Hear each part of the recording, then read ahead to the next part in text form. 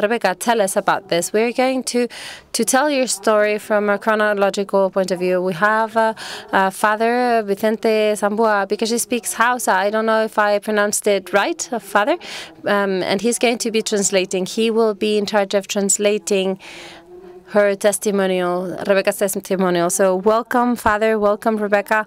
I would like you to, first of all, tell us how life was in your village before uh, Boko Haram arrived to your region.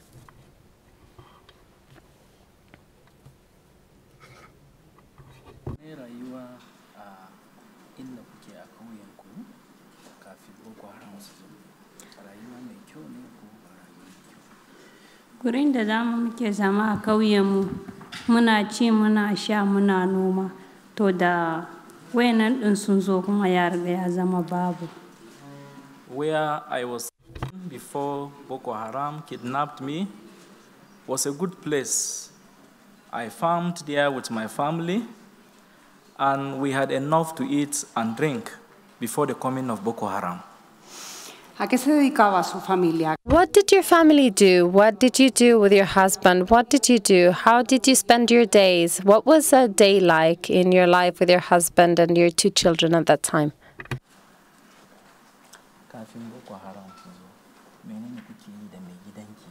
Yaya rayuwa yake muku? Kafin Boko Haram su zo, ya kuke kashe lokacin ku zaman ku da mai gidanki? Zamana da mai gidana yana zuwa ya yi aikin gona yana aikin albasa yana kawo mana abinci muna ci muna sha muna zuwa coci namu komai to da gashi da boko haram suka zo kuma suka watsar da mutane gaba ɗaya I was living happily with my husband and my two kids before the coming of Boko Haram. The major preoccupation of my husband and I was farming.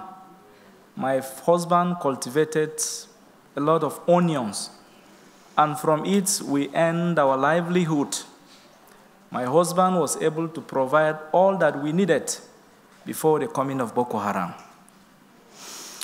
Rebeca, que lo sepáis todos, I need you all to know that Rebecca um, and Victor Zacharias had two children at that time when, unfortunately, Boko Haram entered the village. Their children were called Zacharias and Jonathan, and she will now tell us how her life has changed ever since that happened. They were farmers, they they were merchants, and their day to day was easy, according to what Rebecca just told us. But unfortunately, on August 21st, 2014, although they had foreseen it, Rebecca and her husband decided to uh, separate from each other in order to avoid being kidnapped all at the same time. And she was held by Boko Haram. So, Rebecca, when Boko Haram reached the village, what happened? What what was the experience like? How how did Boko Haram manage to capture you and your children? Da Boko Haram sun zo ƙauyenku ran da suka ɗauke ki, yaya ne su iya sun tafi da ke menene suke yi? Yaya su iya sun tafi da ke? Ki gaya musu menene suke yi suna kashe mutane ko me? Ok da suka zo misali karfe biyar da rabi suka zo gurinmu sai suka fara kwantar da mutane layi-layi ni kuma dama ina filin wanka sai suka ce mini Boko Haram came to my community around 5 p.m., which was in the evening. And they were killing people, lining people up, and killing them one after the other. At the time they came to my community, I was in the bathroom, and it was my husband who alerted me on the arrival of Boko Haram into the community.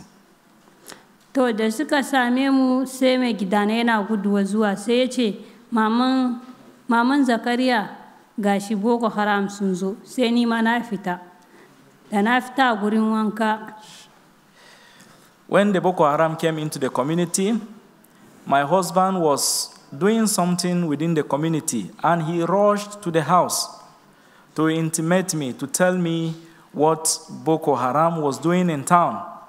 And as soon as he came in, I rushed out of the bathroom and started running. And my husband couldn't go with me because the Boko Haram were after him. To, sai suka tara mutane, sai na ce ma mai gidana gashi suna kashe mutane ka gudu, sai ya ɗauki Zakariya. I told my husband to run away because Boko Haram are killing people. Sai da ya ɗauki Zakariya yana guduwa da shi, sai suka fara zuba mishi wuta. Suka fara Allah akubar gaba ɗaya suna ɗage da bindiga sama kai. My husband ran away with my eldest child, Zechariah. As they were running, fleeing for their lives, the Boko Haram were busy shooting at them. But my husband could not continue with Zakaria. He had to leave Zakaria and run away. sai na ce mishi ka yarda yaro ɗin sai ya yarda shi ni kuma sun riga sun same ni da suka same ni sai sai ɗaya daga cikinsu ya tashi sai ya ɗora min fuska da zaniya nan da ya tashi ya ɗora min fuska sai ɗaya daga ya ɗauki bindiga sai ya buga mini nan to da ya buga min na gan jini yana fita duk hakwarin nan nawa da nan duk sun fita sai na tsaya After my husband had fled for his dear life, the Boko Haram were already around me. They had captured me and covered my face with a veil. And one of them hit me with a gun on my cheeks. Na rasa hakwari duk nan nawa da nan duk babu. I lost some of my teeth. sai na tashi ina bin su sai suka kwakwace yarana. Sun fara murna Allah akbar Allah akbar. Suna murna suna tafiya da yarana. Sai sun ce in bi su sai na bi su. A sai sun kakama mutane mun nan suna kashewa da daddaya After they captured me, they made away with my two children, and they were shouting, Allahu Akbar, God is great, God is great. And by the time they took me away, I discovered on the way that they were still killing people. They had captured a lot of people, and they were killing them one after the other. sai na ce musu to ene ne za ku je da ni sai sun ce aikin kafirce haka suka ce mu I asked them confidently, Where are you taking me to? And they told me, You are no longer a Christian, you are now a Muslim. You have been an infidel, but from today, you are a Muslim. me sunanki na ce suna na rubeka ne What is my name? My name is Rebecca. to daga yau kin karɓa muhammadu As from today, you have Muhammad as your prophet. kin zama maryam Your name is Maryam from today, no longer Rebecca. in kin kara ce sunanki rubeka za mu kashe ki If you ever say your name is Rebecca, we will kill you immediately. sai sun ɗora min hannuna ta baya haka And they tied my hands. sai suna janiya kasa sun ɗaɗɗore min kafa sai da na ji zafi sai na ce ku yi hakuri ba amfani me zan yi muku ba ni krista ne sai sun ce mini kina kara ce ke krista kin kafirce gar da gar kina bin yesu bi muhammadu wannan ai ba hanyar gaskiya ba suka ce mu When they tied my hands together, they dragged me on the ground, and I felt so bad about that. I felt the pains of what they, the pains they were inflicting on me. And I asked them, Why are you doing this to me? I'm a Christian, I am of no use to you. So why bother yourselves about me? Please, could you leave me? sai sun ce mun to sai na fara bi cikin jeji din And, she, and I continued to follow them into the forest. da na shiga cikin jejin sai ga matan Chibok a cikin jeji din sai sun ce mini anti ki yi hakuri fa mene ya kawo ki nan na ce wayanan ne sun shiga fa sun ɗebe ni da yarana By the time I got to their camp in the forest, I saw many young girls who were younger than me. And they told, they asked me, My sister, what brought you here? This is a land of suffering. This is a land of pain. Why are you here? And I told them it wasn't by my making that I am here. It was a Boko Haram that captured me from my community and brought me to this place. Padre, esas niñas eran precisas. Father, those girls, Father, those girls, I was telling you, Father, those are the girls that Boko Haram had captured a few months previous in spring, since she was captured in August. Those were the 200 girls that we currently still are looking for because 112 are still in the hands of terrorists. What was the what was the relationship that she had with those girls? Did she manage to talk to her during those two years? Um, how are those girls living right now? Because she spent time with those girls, those Boko Haram girls. How do these girls live this this this life? How do these girls live in the hands of Boko Haram?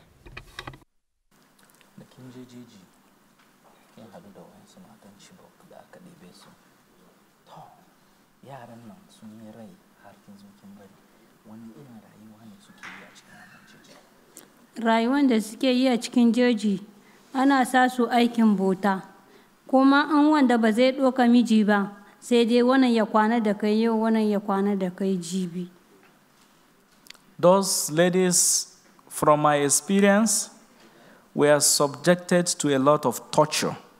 They were treated as slaves because a good number of them are Christians. While in the camp, they were forced to get married to some of the Boko Haram fighters. And if they dare refused, any of the Boko Haram who came back from the battlefront slept with them, raped them. That was the experience with them. sai suka ce mini in bi abin da suke yin nan in bi matan in ji matan nan. Sai na ce ni ba zan bi rayuwanku ba. Na ce ni ina da mijina ina da yarana in zo in bi addini wannan. Na ce ba zan bi ba. Sai suka kwakwace yarana sai suka sayar da su.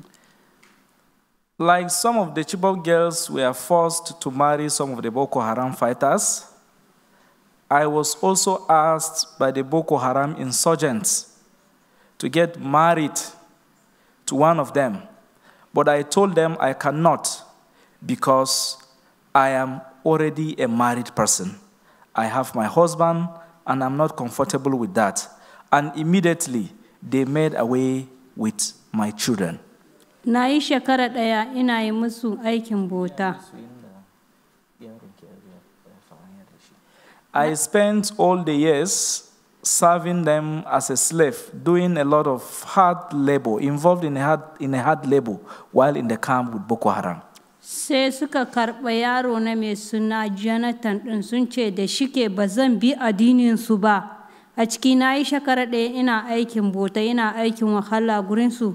Sai suka karɓa jonathan ɗin sun sami ni a cikin ruwa da safe zakariya kuma sun sayar da shi ni kuma da yamma sai suka bani miji As a consequence of my refusal to adhere to their instructions, they took my youngest child, namely Jonathan, and threw into the river, and he drowned to death.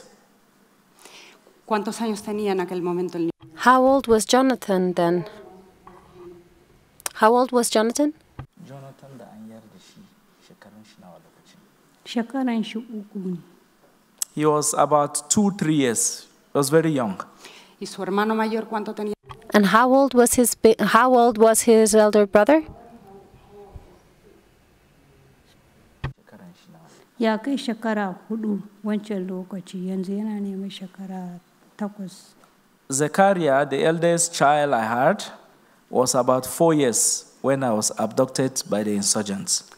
¿Estaba su hermano delante? Was his brother um, there when they drowned um, Jonathan?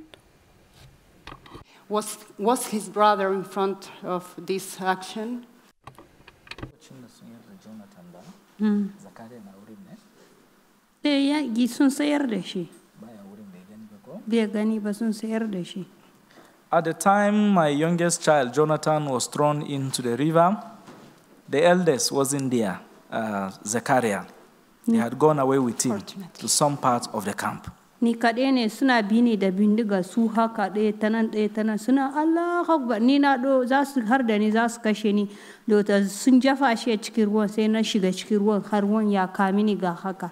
Yana so ya kashe ni. Ina jira yaro ɗin ya tashi ya sama ruwa ma bai fita ba When they threw Jonathan into the river, I was crying, screaming, and I went into the river, and I discovered I was almost drowning. I was very hopeful that Jonathan was going to come up from the bed of the river, but he never showed up. sai na fara kuka na fara kuka sai da yamma sai suka bani miji kuma sun zo da yamma sun ce daga yau naira biyar ne fa auren ki ki bi wannan in ba haka ba za mu yanka ki kuma daga yau ki fara sallah sai na fara bi su On the same day, in the evening, they forced me to get married to one of the fighters.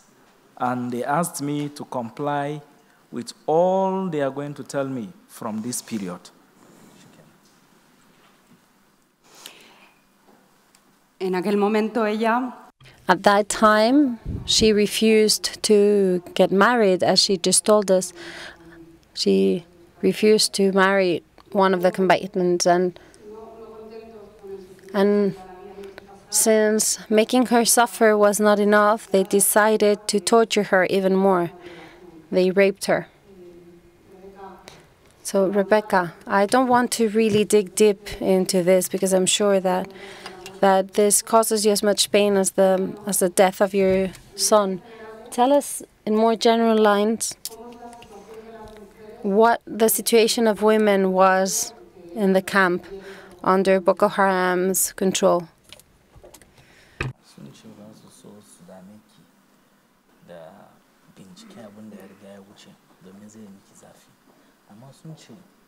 matan da suke cikin camp da boko haram menene rayuwarsu yake a can. Yaya ake yi da su? Ana kwana da su ne ana ana kwana da su sosai. Kuma aikin bota za su dafa abinci sai dai satawa za su yi ci- su ci ba. Ba sakewa can wani duk abin da na gani din in yamma ya yi za su zo su tattaya kanka su ce ka yi sallah. To a inda za ka tunkuyar da kanka wannan idin kana kira ya yesu almasihu ka fidda ni a cikin wannan hali.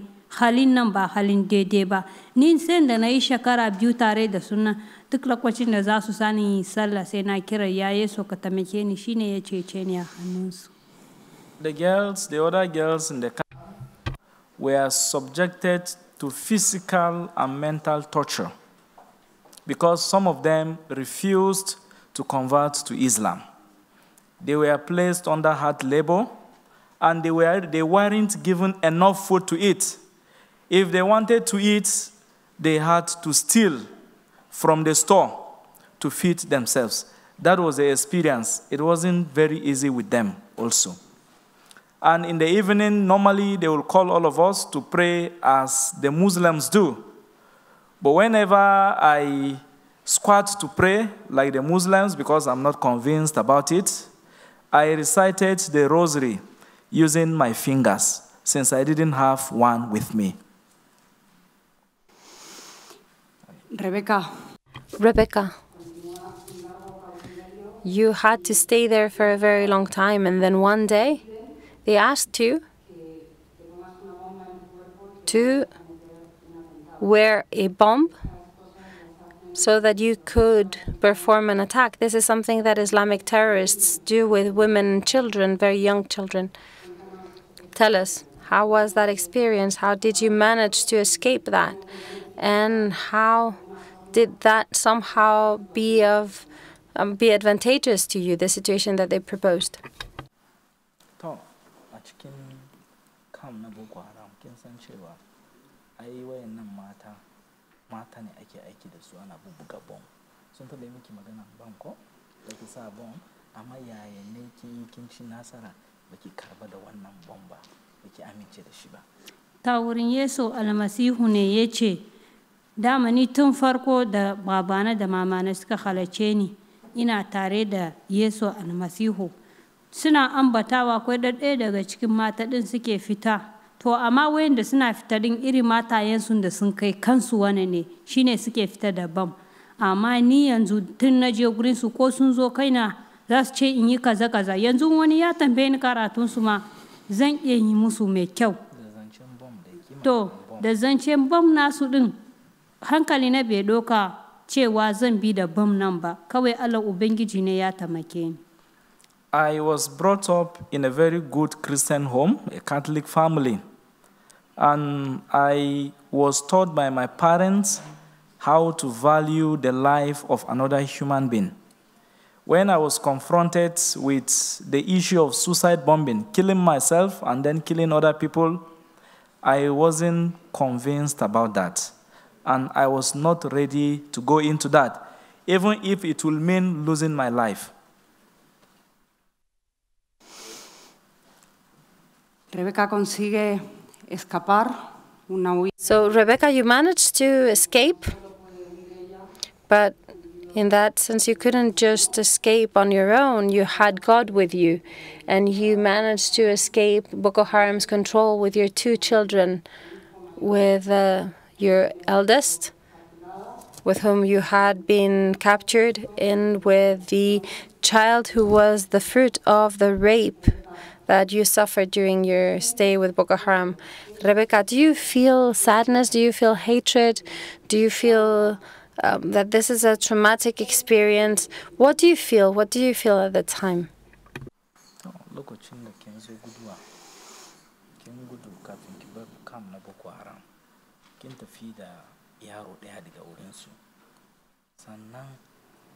Tafi da yaro ɗaya daga wurinsu yaya kike ji lokacin da kina da wannan yaro? Yana tuna shi ki da abubuwa mummuna ne.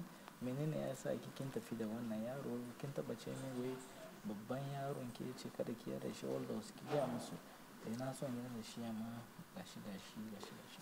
Ok lokacin da na haife christopher na ce ba zan zo da shi ba sai na yar da shi.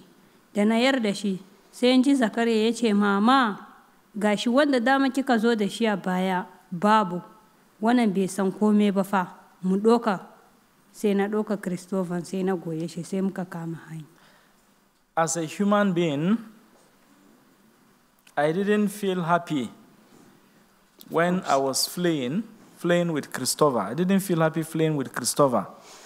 As a human being, I felt pained that I had to go through all this process, being raped and given birth to a child, a male child, for one of the Boko Haram. So I kept the child in the bush, I kept Christopher, and I was ready to run with only Zechariah. But Zechariah told me something that touched me. Mom, mommy, two of us came here with my brother. We came here, we are two. Zachariah, I, Zachariah, and Jonathan. Jonathan is no longer here with us, and I am alone now. Please take this child so that we will be two as we were before. Cristóbal en castellano se traduce Christopher Cristobal, who is the, the bearer of, of Christ.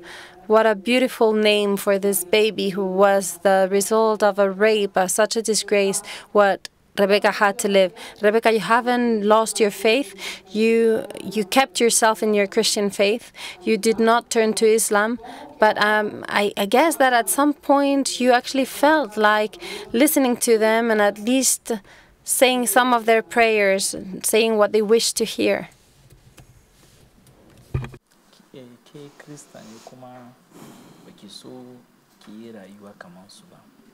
Suna sa ki ki yi addu'a nasu na dole. Kin koya addu'ansu ne? Kina yi ɗan yi domin su yi ɗan barki?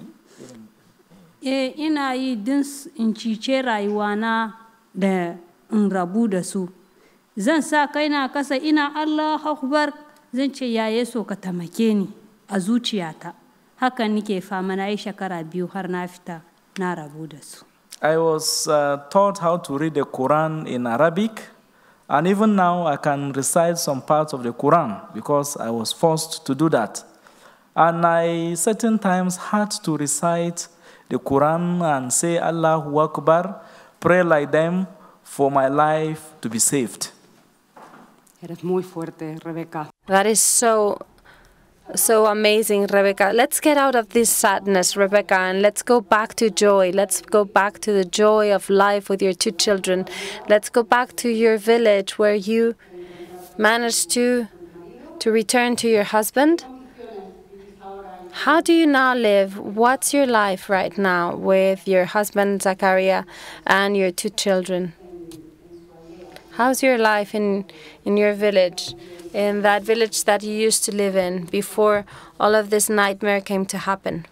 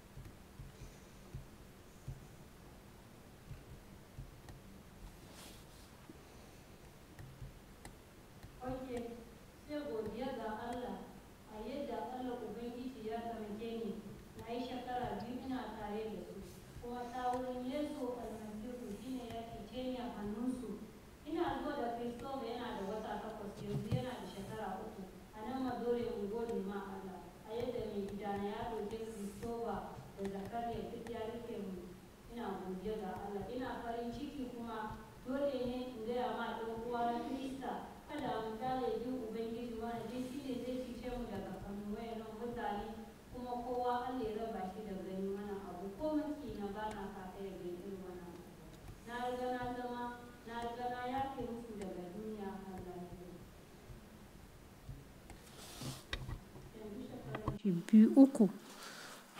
At the time, I dramatically, miraculously escaped from Boko Haram captivity. Christopher was about eight months, but now he is three years, and I am so convinced that it wasn't by my power that I escaped from their captivity. It was Jesus Christ that assisted me. And it is still this same Jesus Christ that encourages me, his words in the scripture. Especially each time I recite the, the Lord's Prayer, our Father, he tells us to forgive one another. I have forgiven them, and I am living happily with my family. And the joy of the whole thing is that my husband accepted me happily, joyfully, and he has come to accept Christopher as a child coming from God. Está claro, con mirar Yes, we can see that just by looking at you.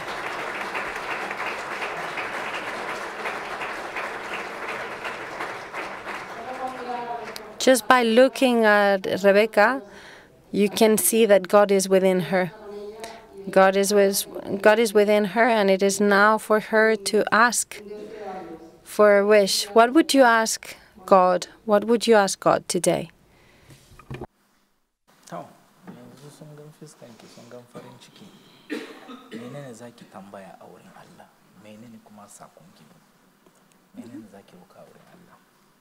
godiya kuma ina son tambaye su wani magana Ki faɗa menene ke in an tambaye ki za ki roka a wurin Allah? Ina ce mishi na gode Allah ya bani abinci Allah ya bani zaman lafiya da yarana da mijina Allah ya lafiyan I am very grateful to God. I cannot thank Him enough. All I pray God to do me, to do for me, is to give me and my children and my husband good health of mind and body, so that together we will continue to struggle and keep the family going. Ok ina godiya a yadda su ɗin daga nan suke na riga na yi shekara biyu yanzu ina godiya ga Allah ina roko Allah a yadda bishop namu ta kula da ni ta fannin abinci ta fannin sutura har ta yau ina hannun bishop shi yake bani kome da kome a nan ma na yi farin ciki da kun da kuna nan kuma ina rokon Allah Allah Ubangiji ya taimake ku. I am very grateful to all of you. It is people like you who invite us to share our stories that keep us going, your prayers and the assistance you give to us. The bishop has been of great help to me. Till today, the bishop still takes care of my needs. He comes to visit me once in a while in my family house and he prays for me. I'm very grateful to the bishop. And she is advising all of us to continue to be faithful to our Christian faith. Let us not throw the Christian faith away. It is said that what has not reached you has not passed you yet. And so she is asking that we hold on to our prayer life and it is only Jesus Christ that can save us.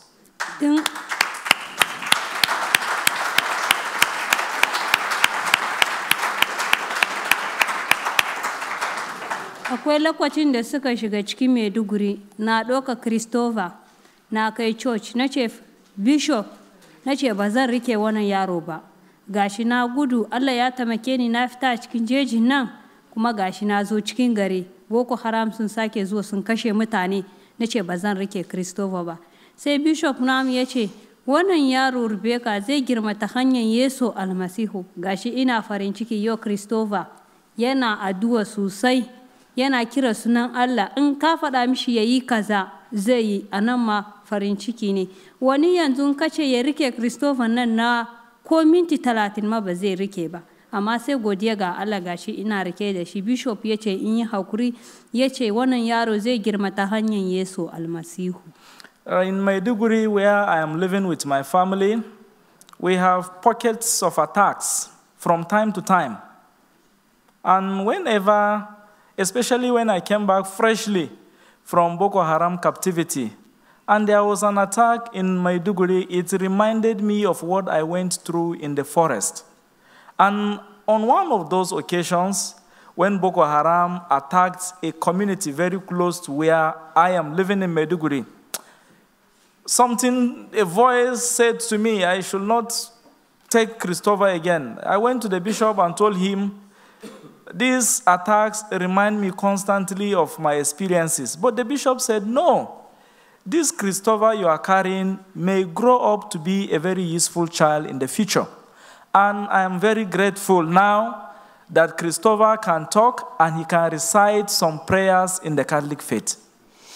Ella nos agradece a nosotros no sé qué, porque no sé qué tiene que agradecerme. I don't know what she has to be thankful to us for, but we thank her for being a strong woman, for being able to survive to these terrible circumstances, and we hope she has enough strength and courage as to tell the whole world what she's gone through so that the world will know the terror that you live while being in the hands of Islamic terrorism so that we are all aware about the things that are happening in these countries so that we can pray, so that our governments are urged to participate and to intervene, and for the UN to really consider the situation of persecuted Christians worldwide. So thank you, Rebecca, for your testimony. Thanks to you and to people like you.